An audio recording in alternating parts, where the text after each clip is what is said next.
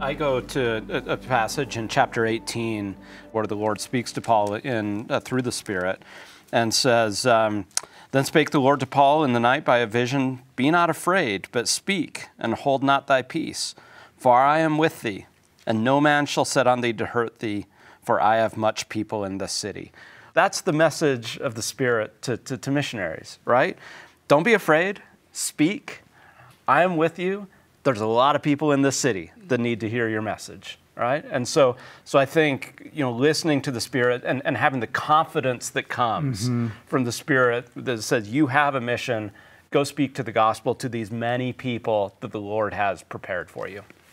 Brother and sister morgan?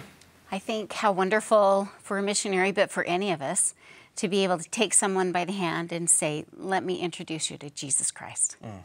let me share my feelings of the savior and, and what I would add to that is who else the Holy Ghost is speaking to. The, the Holy Ghost is speaking to missionaries, speaking to members of the church. The Holy Ghost is also influencing non members of the church and individuals who are thinking about religion.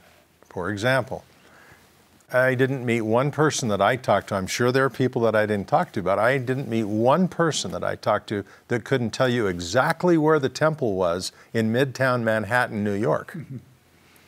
They, it, it was, it's a landmark. It's a place of light. It's a place as you come out of the subway uh, on 65th Street. It's just, it's amazing.